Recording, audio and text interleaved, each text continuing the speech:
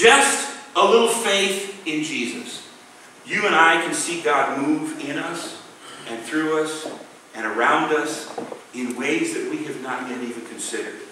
With just a little hope based on the fact that God is faithful, He can use our limited resources and strength to accomplish miracles. And with just a little love, God can use us, if not to change the world, to at least change the world for this individual, and another individual, and another individual.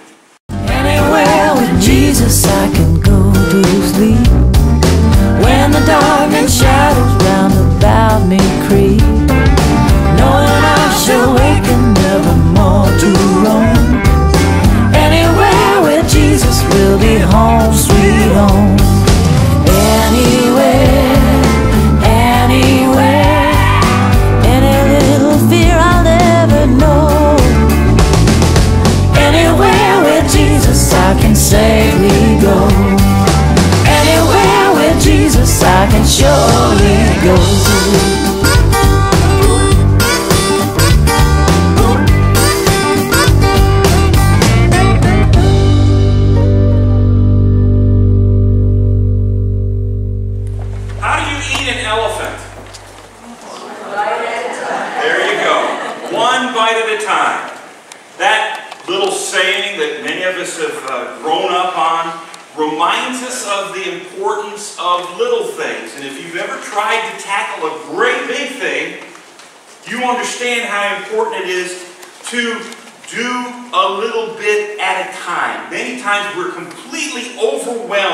A huge task.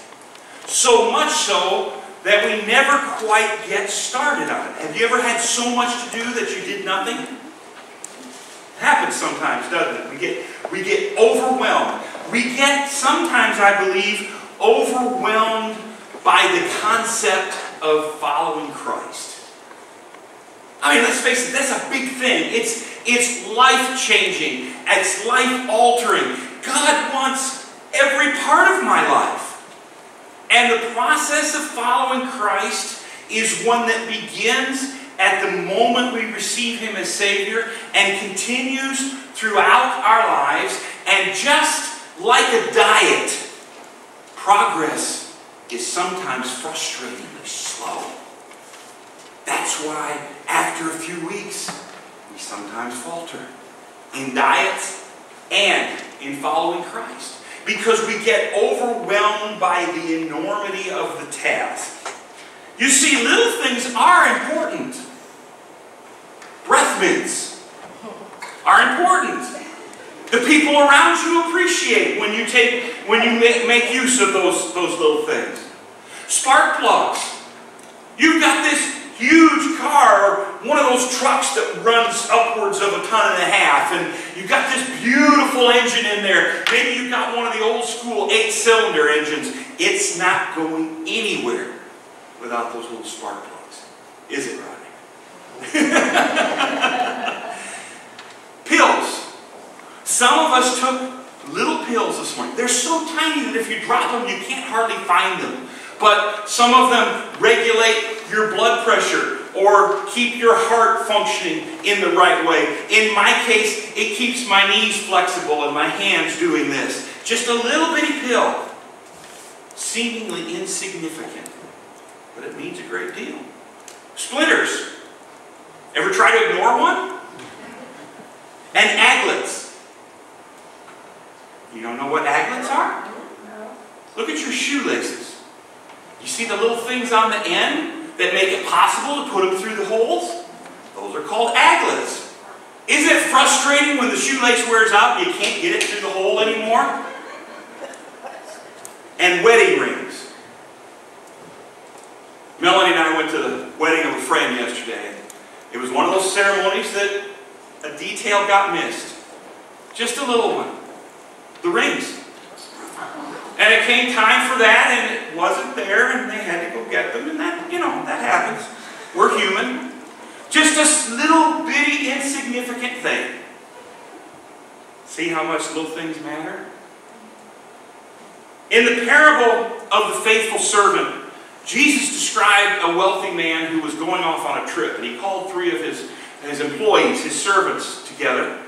And he, he had to entrust them with a certain amount of his wealth because there was no banking system in those days to put things on deposit for safekeeping while he was gone. And so he gave one servant five bags of gold, and he gave another servant three, and he gave another servant one.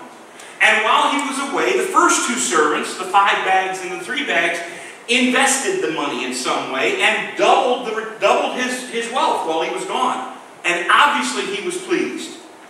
And then there was the one servant that buried the bag because he was afraid something bad was going to happen.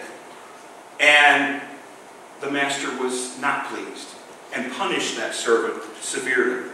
Now, the thing that Jesus says in that parable that, that is part of our context today is to the first two servants, he said, Well done, good and faithful servant. You have been faithful with a few things. In the Greek, we could say, the small things. And I will put you in charge of many things. Again, in the Greek, we could say, the big things. Come and share in your master's happiness. See, the little things matter. Just a little bit of this and a little bit of that. And you've put together a life that can be glorifying to Christ. I'll show you how. Turn with me to the book of John, chapter 6. John chapter 6. I hope you'll open your scriptures with you. Just a little thing, but go ahead and do it with us. John chapter 6, we'll begin reading with verse 1. Sometime after this, Jesus crossed to the far shore of the Sea of Galilee, that is, the Sea of Tiberias. And a great crowd of people followed him because they saw the signs he had performed by healing the sick. And then Jesus went up on a mountainside and sat down with his disciples. The Jewish Passover festival was near. When Jesus looked up and saw the great crowd coming toward him, he said to Philip, Where shall we buy bread for these people to eat? He asked this only to test him, for he already had in mind what he's going to do. Philip answered him, It would take more than half a year's wages to buy enough bread for each one to have a bite. Another of his disciples, Andrew, Simon Peter's brother, spoke up. Here is a boy with five small barley loaves and two small fish. But how far will they go among so many? Jesus said, Have the people sit down. There was plenty of grass in that place, and they sat down. About 5,000 men were there. Jesus took the loaves and, and gave thanks and distributed to those who were seated as much as they wanted. He did the same with the fish. When they had all had enough to eat, he said to his disciples, Gather the pieces that are left over and let nothing be wasted. And so they gathered them and filled twelve baskets with the pieces of the five barley loaves left over by those who had eaten. Isn't that amazing? What a wonderful story. I've heard that story since I was a little bitty child. How Jesus fed the 5,000. And to set things in chronological order, last Sunday we looked at Jesus walking on the water and, and Peter getting and walking with him and the whole story there. This actually happened just a little bit before that. We're just a little out of order, but we'll correct that right now. This happened a little bit before. But I, I want us to look at three little things in the idea that Jesus is the Lord of the little. First of all, Jesus is the Lord of a little faith. Just a little faith. Notice there in verses 5 and 7, Jesus is looking out over this crowd, which numbered 5,000 men. Sorry, ladies, children, it's the culture.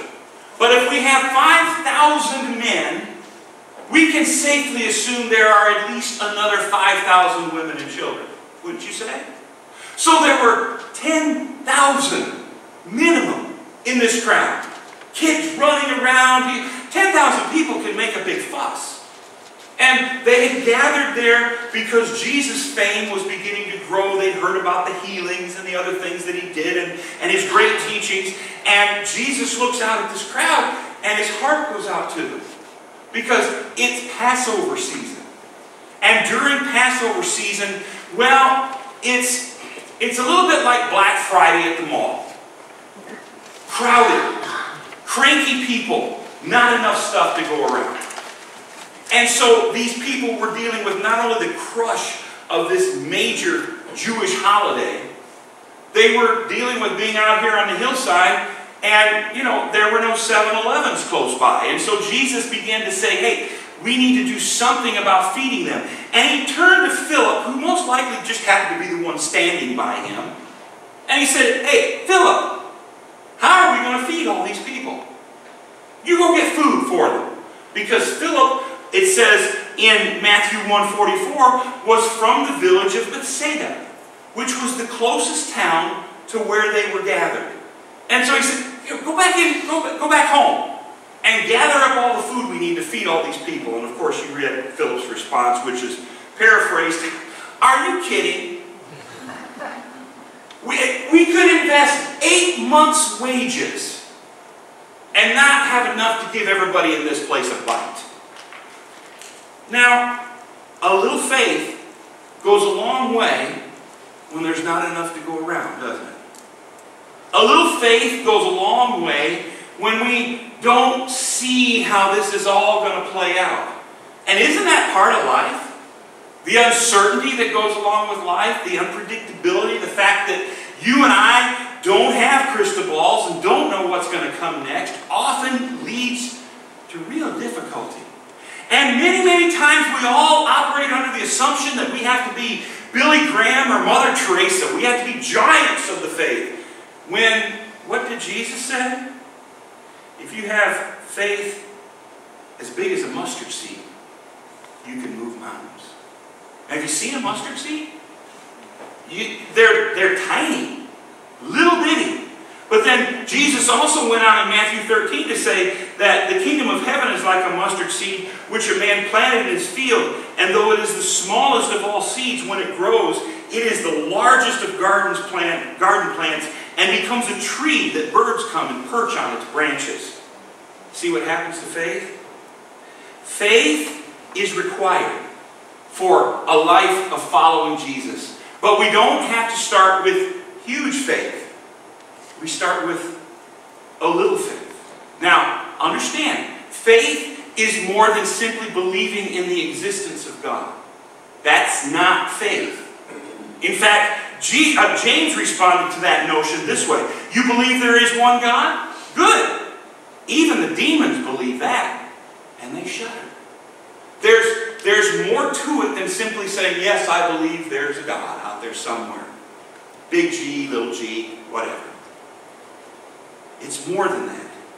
The writer of the Hebrews did us a great favor in Hebrews 11.1 when he or she wrote this.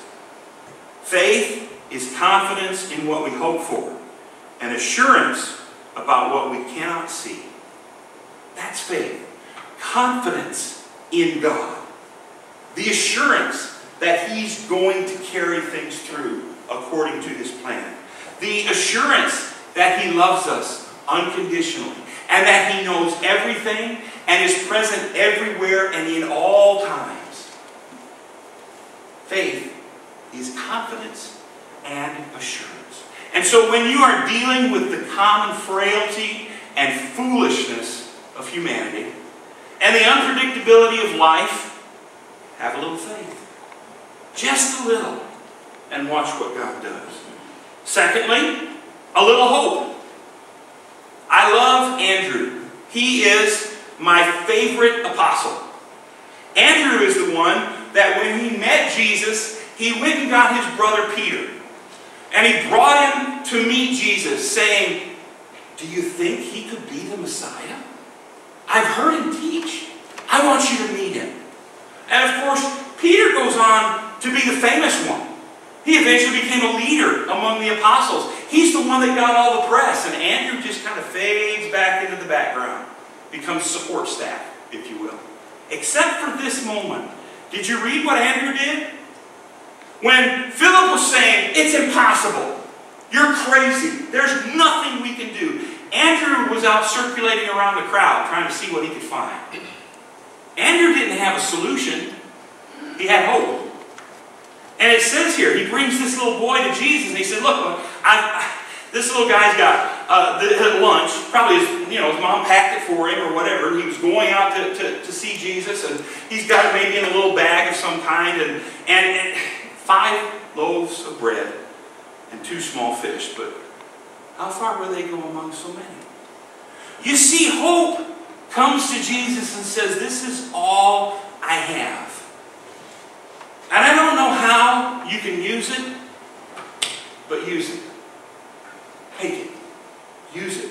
Do something great with it. And don't you just have to love Andrew? I, Lord, this is, I found this. Can you do something with this? This is all I have. And I know it's not enough. But maybe. Jesus is the maybe in your not enough. Maybe. Something great can come from this. And again, the writer of Hebrews comes through for us in Hebrews 10.23. Let us hold unswervingly to the hope we profess.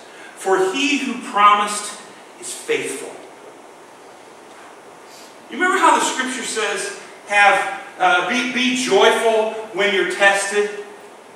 Rejoice when, when you face trials of many kinds. Remember that? Have you ever read that and thought, come on. Who rejoices when they're tested? Who goes through a trial and says, yeah, I'm going through a trial? Nobody.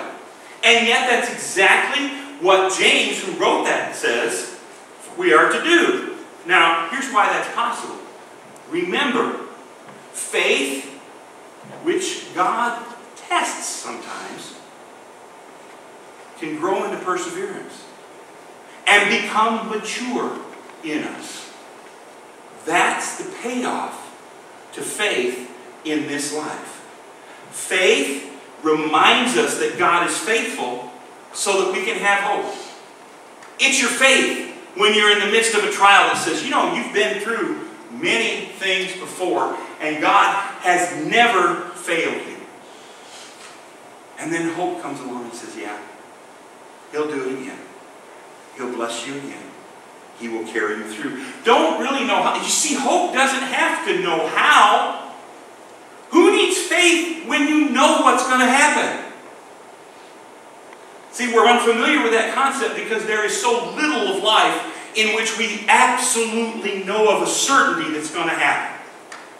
Every night I lay down and I set my little iPhone alarm clock for 545 and I put it there on the nightstand, and I go to sleep with the assumption that it will go off the next morning, and I'll get up and go on with the day. But isn't that an assumption? Some days the stupid thing doesn't go off. I don't know why. Some days I don't hear it, and I wake up a few minutes later. Some days I hear it, I get up. But where is the certainty in that? You see, hope says, okay, I'll do this. And Paul in Ephesians puts it this way. I pray that the eyes of your heart may be enlightened in order that you may know the hope to which he has called you, the riches of his glorious inheritance in his holy people, and his incomparably great power for us who believe. You see, hopeless people, people who have lost their hope, hopeless people are pitiful. But hopeful people. When you and I, as people of faith, lose hope, we lose power. That's why we feel so weak. That's why we struggle so much in the midst of a hopeless situation. Because we haven't tapped into our faith that reminds us of God's faithfulness so that the hope within us can grow and we can set out once again saying, okay, I don't know what's going to happen. I don't know how he's going to do it, but I trust God and he will handle this. So when you do not see a solution to the situation at hand, put whatever you have, even if it is completely inadequate to the situation, put it in God's hands and have a little hope. And then third, I love the little boy this little guy has the five loaves of bread and the two fish, and here comes Andrew, sees it there, probably asked him for it. What if the little boy said, No, it's mine? And he's right. It is his. Nobody there has a right to that. It's his. It might be his lunch and his supper. It might be his breakfast the next morning. I don't know how big the loaves of bread were or how actually big the fishes are. If, if he was a fisherman, he probably measured it like this. You know. But it was his. And he did not have to share it. Or he might have been able, he might have said, you know, you can have two loaves and one fish. But I need to keep some back for myself. Because I got to eat. A loving action took place there that often gets overlooked in the narrative. This was an act of love. Through which the little boy gave Andrew his lunch. And look what Jesus did with it. So a little love goes a really, really long way. Now I know you're familiar with the passage from 1 Corinthians 13. It teaches us love is patient and kind and does not envy and does not boast and is not proud and does not dishonor others and is not self-seeking and is not easily angered and keeps no record of wrongs. And love does not delight in evil but rejoices with the truth and it always protects, always trusts, always hopes and always perseveres. And love never fails. And isn't that romantic? And wonderful. And we read that and we think, yes, love is all of those things at the same time. And how often do you see it in the world in which we live? How often do you see that reflected in the actions and attitudes of people? You see, Jesus said, A new commandment I give you love one another. As I have loved you, so you must love one another. And by this, everyone will know you are my disciples if you love one another. Now, I'm not, I have no quarrel with Paul's definition of love, and love is certainly all of those things. But Jesus, instead of giving us this definition that we can kind of paste on the wall and look at, Jesus gives us an example to follow. What did he say? As I have loved you, so you must love one another. That's the key. We must love one another. Both those within the congregation and those that are not yet part of the congregation. You see, everybody out there, because I'm the pastor, I look at them as not yet part of us. And we must love everyone the way Jesus loved them. So, how did Jesus love people? Well, first of all, he, he always showed respect. He's one of the only ancient historical figures that you will ever see elevate the role of women and children and show them respect. He, he even showed respect to those that probably really ticked him off. You know, the Pharisees that followed him around and criticized constantly, and we all know how that will weigh on him. He consistently showed respect to everyone. But he also never condoned sin. And that, that's a rough balance to maintain. You know, he, he met the, the Samaritan woman at the well and began to talk with her and all that, and come to find out she'd been married multiple times and was now living with this man, and he confronted her about it. He brought it out and, and, and showed it to her. And then the woman that was caught in adultery, and of course the, the, the, the villagers there, the, the Pharisees wanted her stoned, and he showed her love and compassion, but the last thing he said to her was, Go and sin no more. See, he never condoned sin. You and I don't have to condone sin in order to love people. We don't have to condone sin in order to show respect. We are the church. And Jesus always seemed to meet people at their point of need. I love John 3 because Nicodemus goes to Jesus just to have a little powwow. Nicodemus was a, was a Pharisee who had started to convert over towards Christianity, and he was a little afraid of what his pals would think, and so he came to see Jesus at night. And, and he, he began to walk. He said, Rabbi, I know you're a great teacher from God. And Jesus said, You have to be born again. That's not what Nicodemus came for. But see, Jesus meets us at our point of need. That, my friends, is love. And so when you see a person in need or a task that needs doing, assume that it's God showing it to you and respond with a little love. Now, look at what Jesus did with a little. We just read it. When they had all had enough to eat, he said to his disciples, Gather the pieces that are left over and let nothing be wasted. Pieces that are left over? You got five loaves of bread and two fish, and I don't care if the fish were the kind like, you know, Bob catches, this big. That still wouldn't feed that crowd. It wouldn't have done it. We know that. Simple logic dictates that. And yet, he not only fed the crowd, he, he showed off just a little bit. And he had all kinds of stuff left over. Said, don't let that be wasted. Gather it up. Isn't that amazing? Look what Jesus can do with just a little. With just a little faith in Jesus, you and I can see God move in us and through us and around us in ways that we have not yet even considered. With just a little hope based on the fact that God is faithful, He can use our limited resources and strength to accomplish miracles. And with just a little love, God can use us, if not to change the world, to at least change the world for this individual, and another individual, and another individual. You see, you and I don't have the power, or the authority, or the resources to change the world. We're not going to do that. I used to think that when I was about a 22-year-old preacher. I'm going to change the world. And I learned it works much better when we change the world for one person, and then another person, and then another person. Give your